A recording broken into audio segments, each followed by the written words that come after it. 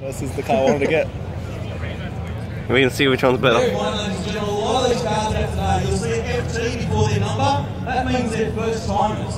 First time out here. It's a little bit nerve wracking, but it is so much fun. We've also got our regulars that come out here.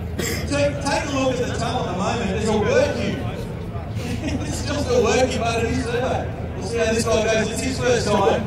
might be an electrician, might be a plumber, but he's definitely a tradie. He knows how to have his work ute. Oh, a, I got the good car.